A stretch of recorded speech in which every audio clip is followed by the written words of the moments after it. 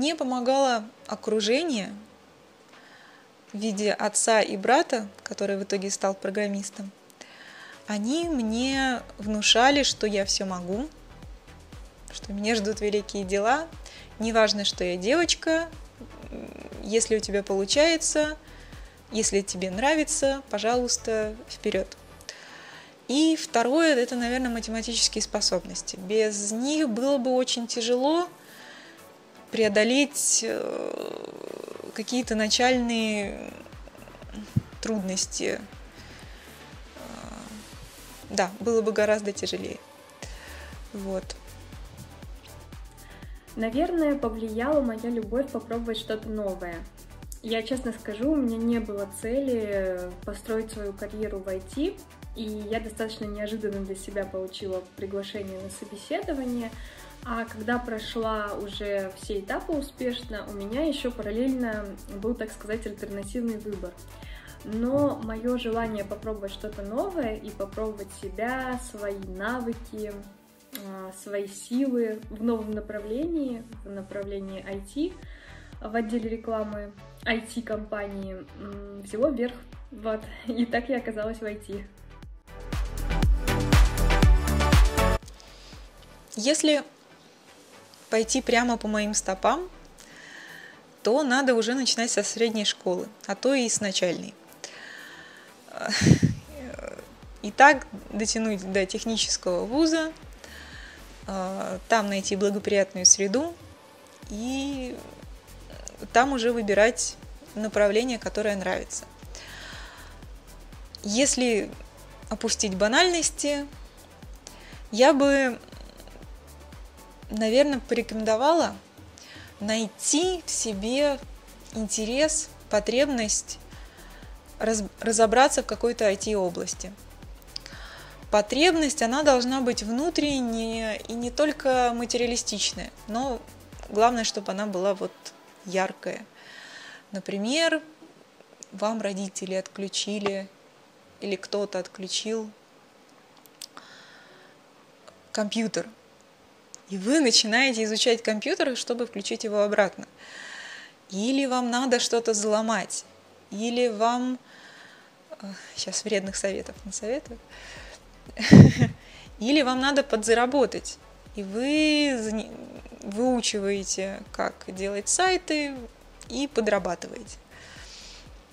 Или вам надо с одноклассниками поддерживать разговор, вы как-то вот ту программу установил, проапгрейдил компьютер, что-то новое, вы в чем-то вдохновились, и вот у вас интерес.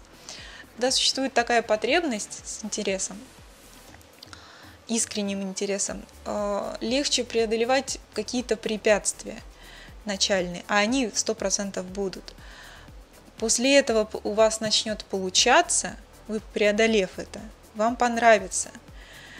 А, у вас получилось, вам понравилось, вам понравилось, у вас получилось. Вы входите в этот поток, и вуаля, вы зашли далеко. Это такой интересный вопрос, а, потому что я сама еще считаю себя новичком, так как я только недавно начала свой путь э, в IT.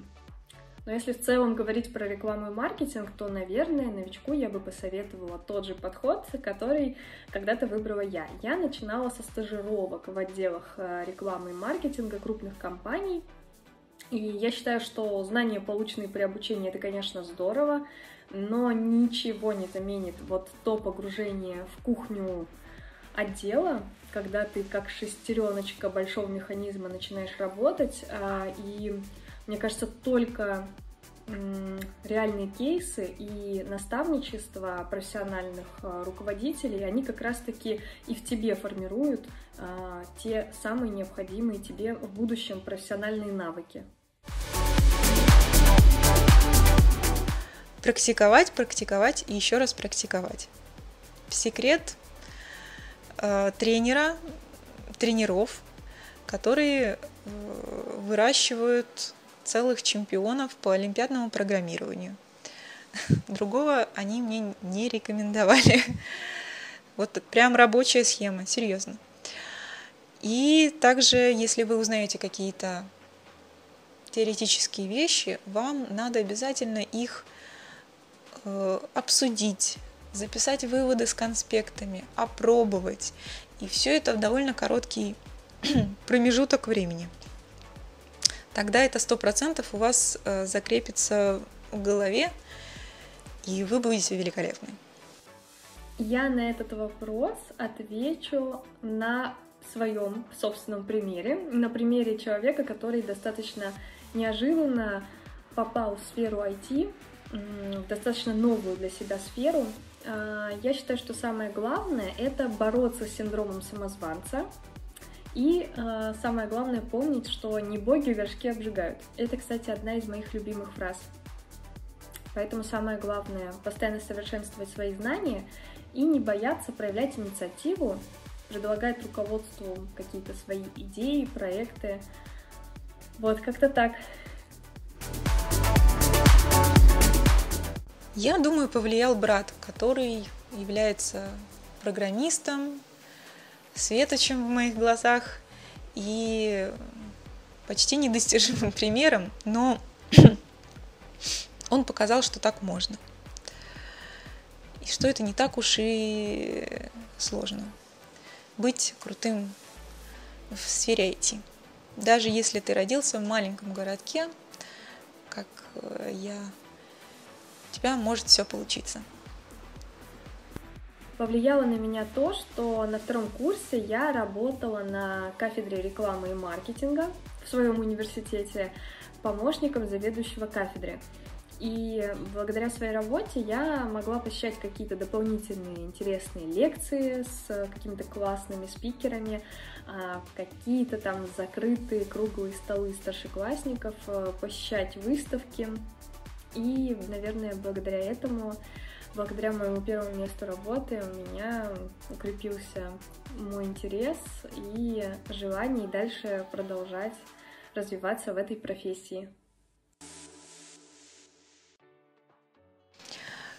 Я считаю, что спорт, занятия спортом э, помогли мне развить силу воли, которая пом- помогает, в свою очередь, преодолевать э, серьезные трудности, добить такие.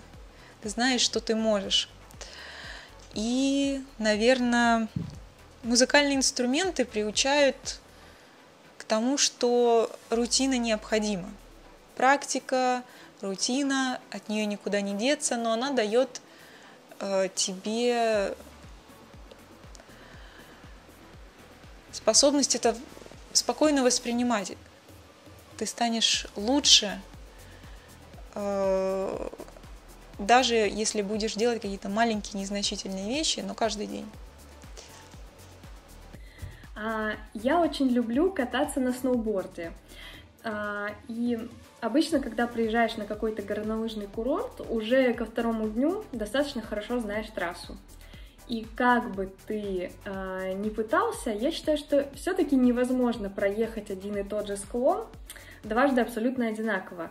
Э, у тебя появится либо какое-то желание все-таки сделать этот спуск непохожим и, например, как-то иначе во второй раз зайти в поворот, либо же немножечко сменить траекторию тебя заставит какое-то внешнее обстоятельство. Это, например, будет э, лыжник, который остановился сфотографировать э, какой-нибудь красивый пейзаж.